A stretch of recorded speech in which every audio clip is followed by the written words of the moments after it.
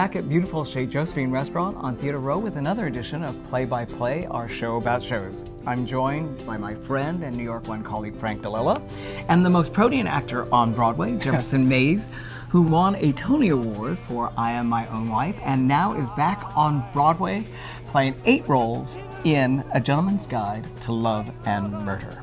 So it's a little bit of a come down 37 roles in I Am 37, yes, yes, I'd say so. It's a nice leisurely evening for me. I barely break a sweat. No, that's not true. Actually, uh, in I Am My Own Wife, I was wearing one costume, and this evening is full of costume changes. It's more athletic, I think, than artistic sometimes, my performance.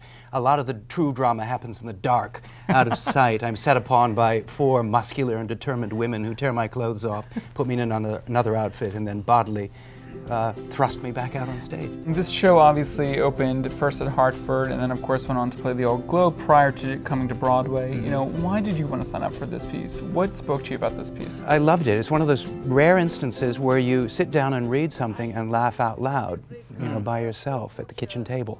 And that I did. And it's based on uh, Roy Horniman's uh, novel, Israel Rank, which was also the source material for an Ealing Studio mm -hmm. comedy starring Alec Guinness uh, called Kind Hearts and Coronets. Watching clips on YouTube, I haven't seen it yet, it reminded me a little bit of The Mystery of Edwin Drood, some Gilbert and Sullivan in there. Jefferson, talk about the music for this piece. The music is simply glorious, and maybe I'm a bit of a Philistine, but I like to go and see a musical and come out humming the tunes. And uh, these tunes I cannot get out of my head um, and they're beautiful. And they, as you already referenced, they're drawn from. It's kind of a love letter, I suppose, to the, the history of the musical. Lots of Gilbert and Sullivan, uh, some Sondheim. Yes, absolutely, Lerner and Loewe. and, uh, and some Noel Coward.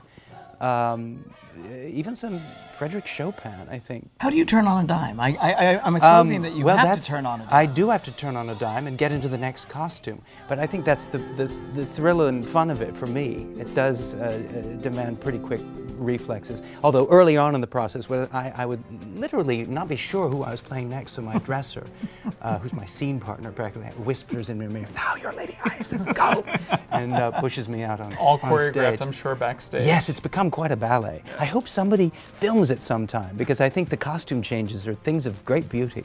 Thank you, Jefferson, for joining us. Thank you, Frank. And thank you. That's it for this edition of Play by Play. Meanwhile, you can follow me at artinfo.com.